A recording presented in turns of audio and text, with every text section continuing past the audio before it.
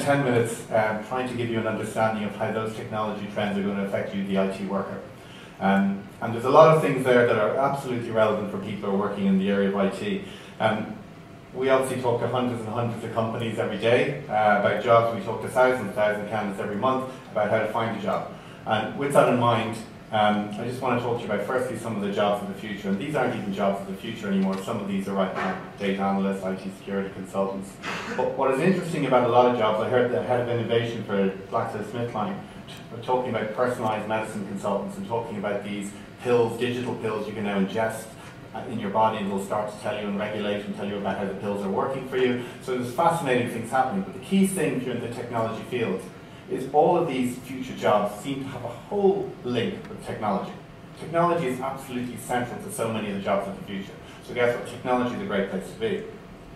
Um, it's also moving very fast. I'm sure you're all familiar with Moore's Law, but when we talked about things moving year to year, one year, then being uh, then twice as fast and three times as fast and four times as fast, and after 30 years being 30 times as fast, as we know from Moore's Law, it's exponential. So after 30 years, it won't be 30 times as fast, it'll be about a billion times as fast.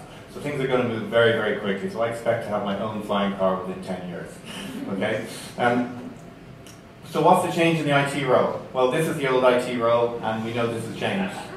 But interestingly, while it has changed and technology is very cool now, actually the brand of technology probably still isn't cool in a lot of organizations. And a lot of people still see technology as a room in the basement in the corner where somebody just answers your phone and tells you to turn the, turn the computer on and off again. Okay? It's moved on a lot from there, but the brand hasn't. But let me tell you, there's some good news about how it is going to move on. Because one, we talk about digital natives. Anyone under 10 years old has never not known a mobile phone, has never not known the internet. So that's great. Right? So it, it, means that everybody of the future is going to expect things to work. And that actually caused me a bit of embarrassment in my last presentation because I actually brought my laptop with me and I plugged it in from the night before and up came this, which is my new desktop wallpaper, which my six-year-old uh, decided to put on the machine, which just makes somebody think something about me which may not be true. But it just shows you that six, eight, ten-year-olds, um, they're able to use technology because it just works for them, because they've always been used to it. But interestingly, the challenge we're going to have is most people now have technology in the pocket. As Adrian said, we're moving to laptops, we're moving to mobile. And the challenge I've heard recently is someone said, how can I be such a master of the universe Saturday and Sunday and such a dweeb Monday to Friday? How is it possible that I can find out who sat beside me in primary school, second grade, in about 10 seconds on my own computer, and then I go into work and I can't even find out who my best customer is? So what's going on there? So the view is everything they have at home works and it works really, really quickly. And then they come into work and they haven't logged off the computer because it takes 10 minutes to log on again. They have to go through all these firewalls and security passwords, and it just doesn't work very well.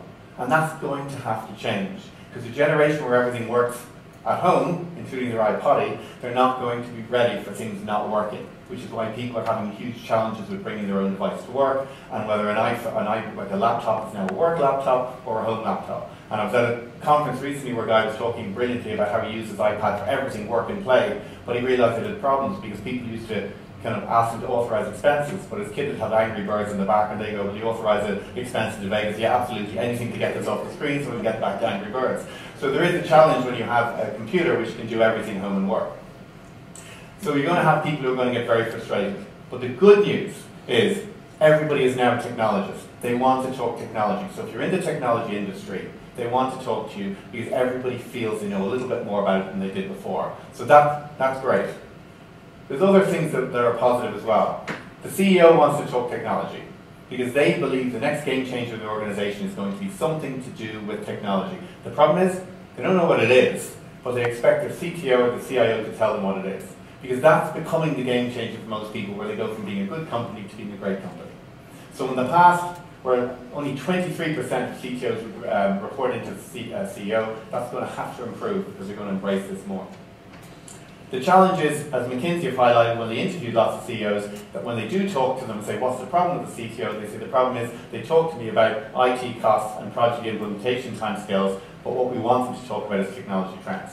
I'm sure you'll get a different answer if you speak to CTOs about it, but that's what the CEOs are saying. So while they want somebody who is deep technical, a good project manager, someone who can get it done, what they're now asking for is the following.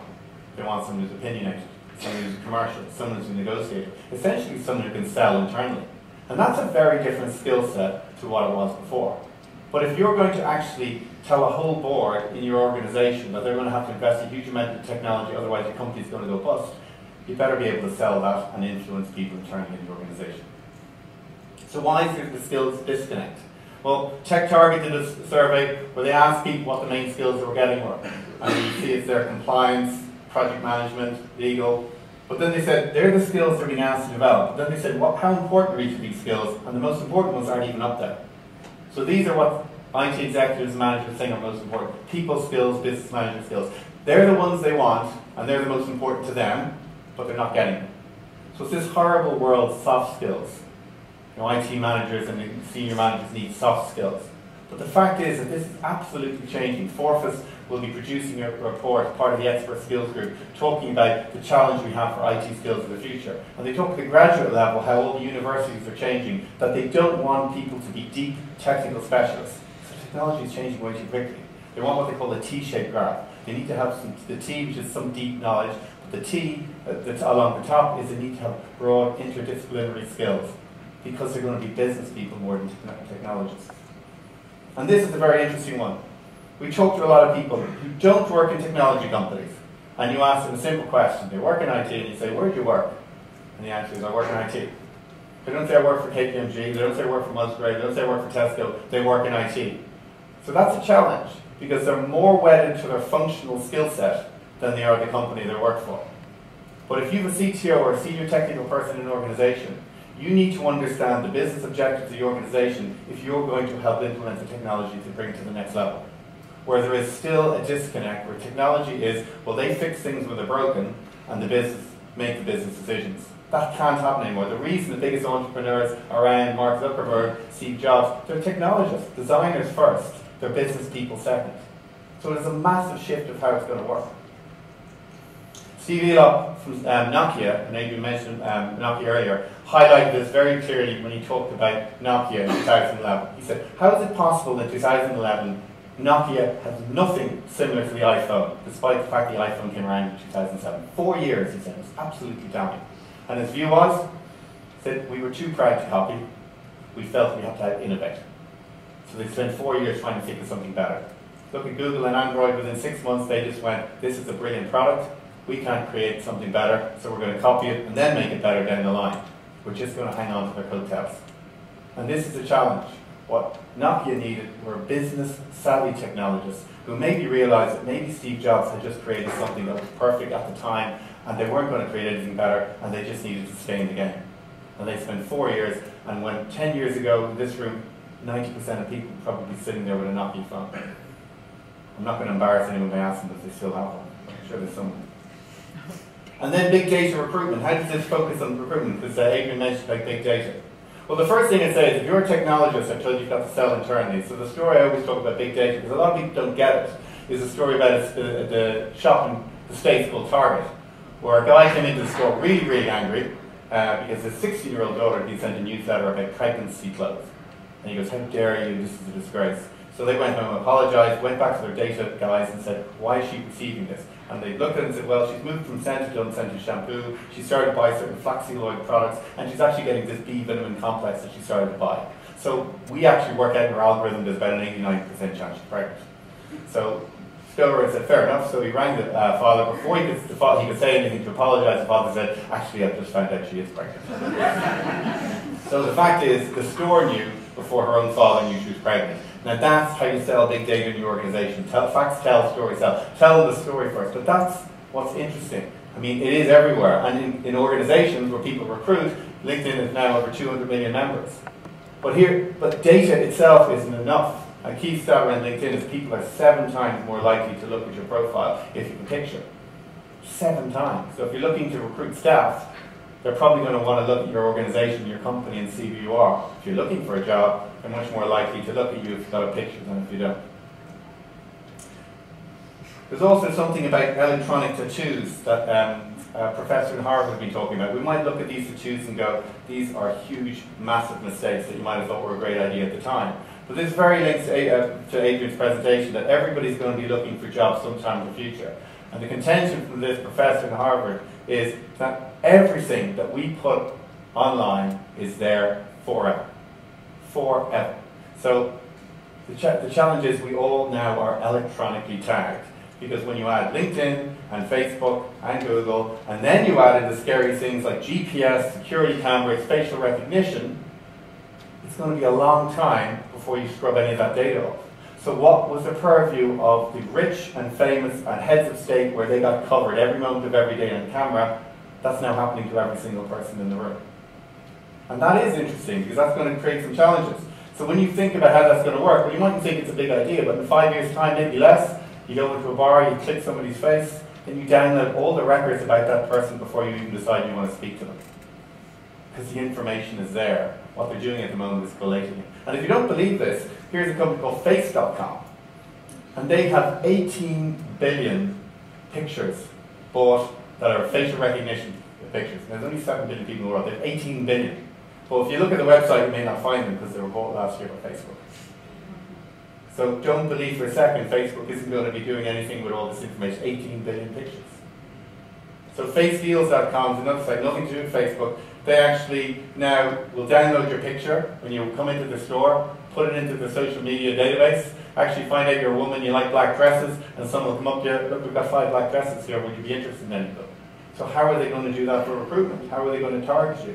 Well, they're going to look at all the things in your profile, and absolutely, as Adrian says, what's ethical and what's not, is absolutely unknown at the moment. And there's a lot of cases going on at the moment, but guess what? It won't stop people doing this anyway and just not saying anything. There's also a company called Bullhorn Reach, which have got technology now which works out if you're actually looking to leave your job.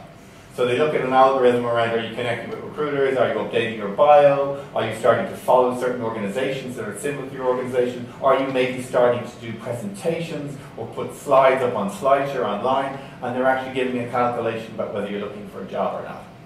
And remember, this is the basics of big data. What's it going to be like in three, four, five years' time when they can actually track a lot more?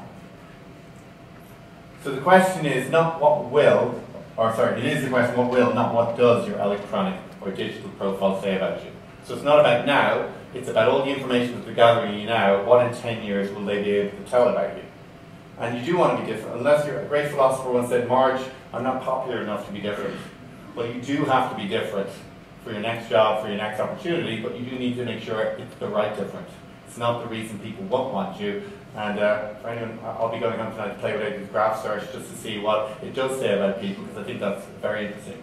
So takeaways, the positives. Firstly, technology is now everywhere. The young generation are digital natives. Every CEO wants technology to be the game changer. So that is great if you're in this industry, because every other job seems to have a tech element. Great.